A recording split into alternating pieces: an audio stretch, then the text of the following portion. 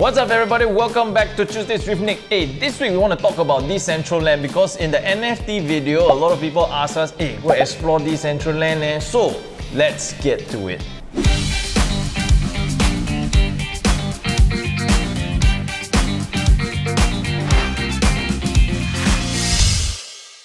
Okay guys, so let's first start out with a brief introduction. So what exactly is Decentraland? I'm going to share this video with you. What if you could own the virtual world? Create, develop, and trade without limits. Make genuine connections. And earn real money. Decentraland. Decentraland. immersive platform powered by the blockchain. Buy land. Design your experience. Oh, yo. and transform the way people see the world.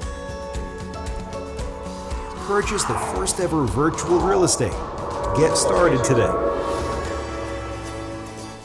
So this video is like an introduction video that I got online and it serves a very good purpose to tell you that Decentraland is basically a virtual world and it's a land that has commercialized and enables people to actually go and buy stuff, build actual stuff on real estate and more than that, it immerses you as an avatar to go in and even buy stuff, interact with people. I'll give you all the intricate details in a short bit. Let me give you the definition first by this article from Lifestyle Asia. It says here, this is all you need to know about Decentraland and land acquisition. So it basically began with a pixelated 2D grid where users could use to buy pixels and grow into an experience. Now it's 3D. It's built on the Ethereum blockchain. So Decentraland is already decentralized and you can see people create their own micro worlds after they bought a plot of land on it with virtual trees, aircraft and very much more.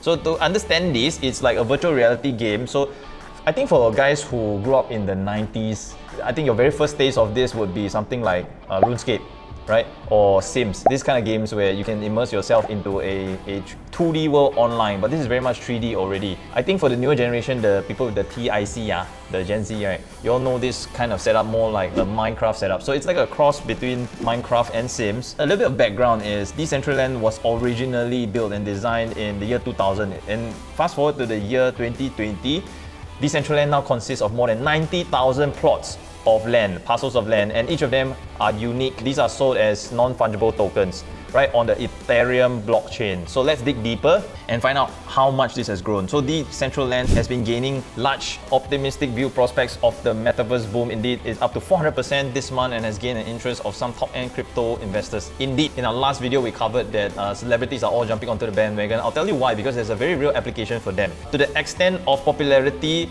of big name artists like Paris Hilton coming online, JJ Lin Junjie, Justin Bieber is doing online concerts. So you can see why.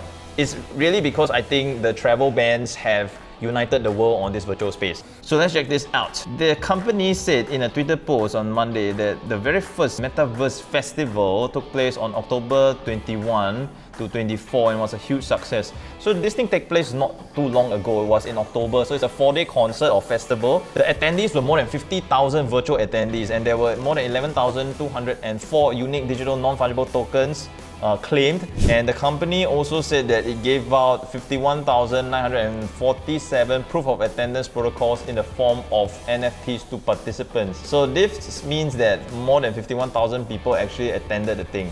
This is the first ever Metaverse Festival and it's one for the record books. Indeed, it's quite sick. Uh, imagine more than 50,000 people turn up to a concert. It's more like it's more like a, a festival. It's like. Zouk Out got how many people go? Ah? Anyway, the 4-day festival is a celebration of music, culture, creativity, and virtual social world. It makes sense because, dude, where you gonna go now? Lock the doors, we're on full quarantine! So they even have future collaborations with Gucci and to host digital fashion shows. So it's getting very crazy. The space is very hot.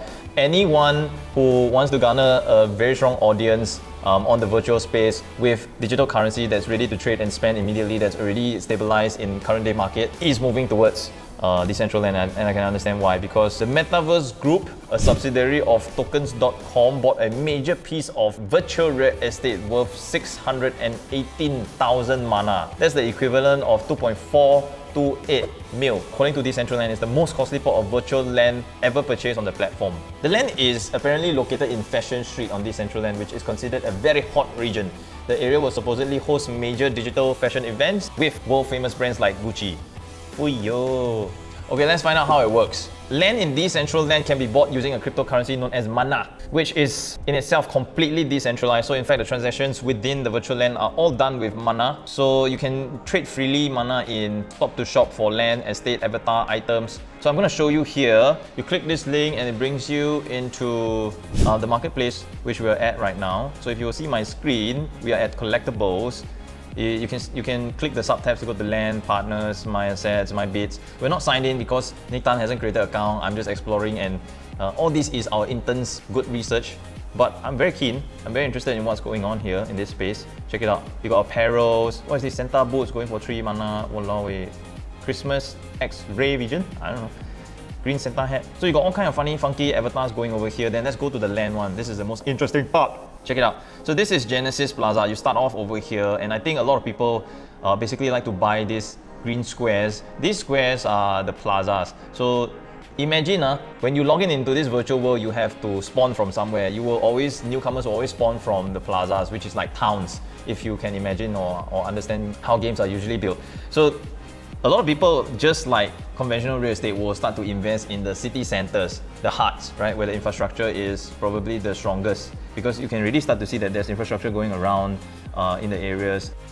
You can see all the usernames and the owners here, right? If you just click into one of the plots, then into that location, it will tell you, oh, there are 380 land plots available and how much do they cost for? 509 mana and then look at this. These are the plots, longitude, latitude, right? So you can choose. And then if you want to bid, you can. If you want to jump in, jump in actually takes you into Decentraland where well this is the login page. You can if you already have a wallet you can hook up and you can go inside create an account. If not you can play as a guest. But mind you please use chrome or firefox. I am currently on mac so it will or might take ages might lag a little bit. So please use the preferred platforms. So you can even buy uh, celebrities names eh. nfts have been issued if you want the name little john then Check it out. Little John's name is going for 100,000 mana. How much is that in Sing? Let's do the conversion.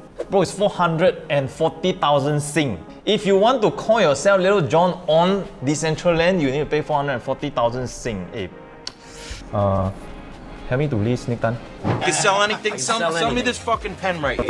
Anyways, that's not all Decentraland is good for. There is even a gaming mechanism or economy in Decentraland and um, check this out. There is a casino called Tominoya Casino and it allows participants to play roulette blackjack with mana. They have virtual casino nights with live DJ music, and I think they also have, um, what is this, a play to earn structure. Check this out. There is a play to earn structure over here where you wear apparels uh, dress up, come in and play. You can play to win, you know, a thousand USD for first place. Down here you can see a description going on. Then they've even stipulated there will be a 15 USD airdrop every five minutes in a randomly selected area for active players in Mana and Dai.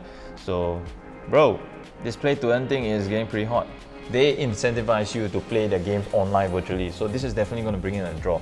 Now let's look at the functionality of this thing. So if you want to play Ice Poker, please use a Google Chrome browser and I think you need to install the Chrome extension and this is the way you can get started. The link is over here. We'll leave it in the description for you. So aside from buying land uh, and playing casino game, you can also go and visit the virtual art galleries, which is very interesting.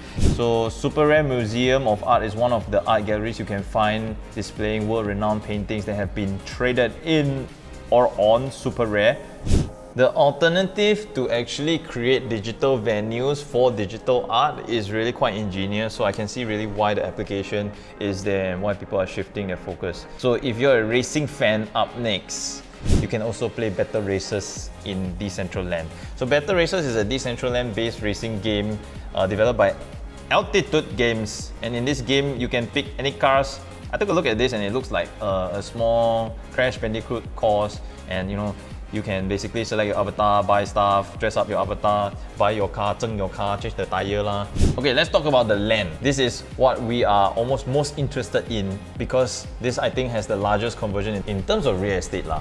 One particular plot or one particular location that I think that we would start our research from is really Genesis Plaza, which is the ultimate hangout place for users. So this specific location has a lot of traffic and people interacting compared to other places. So JJ Lin in the last video bought a plot of land in here so I would say that it's, it's definitely a place to be. Why would they start to invest in these kind of locations? You can basically build shops, you can build auditoriums, you can build art galleries. For digital developers, you can, this is the thought that struck my mind when I was looking through this material is, you can basically build projects and test traction towards it.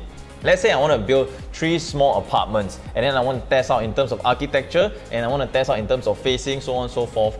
We can actually test with a live audience attract people come in, have a look. If they buy and they take up, then obviously it can translate to a real life location. And this could be realistic applications which are not just simulations. These are really in the market and they trade for real money. So yeah, I think it's quite interesting. Uh, but more than that, why do people really want to go to these places? Like the conventional rules of real estate, it has to be location, location, location. It has to be a place where people actually want to go there for a specific purpose, say entertainment for one. Uh, another one is, well, largely this is social interaction and entertainment. This is the big draw as of now. So I think maybe it could be another way for people to interact online in a space. I don't know, there are, are there real live facial expressions and stuff like that that might develop into the CGI? Maybe. We are doing our own due diligence, so if you're really about to invest in Decentraland, then please do so yourself. Right now, Nick Tan is going to check it out.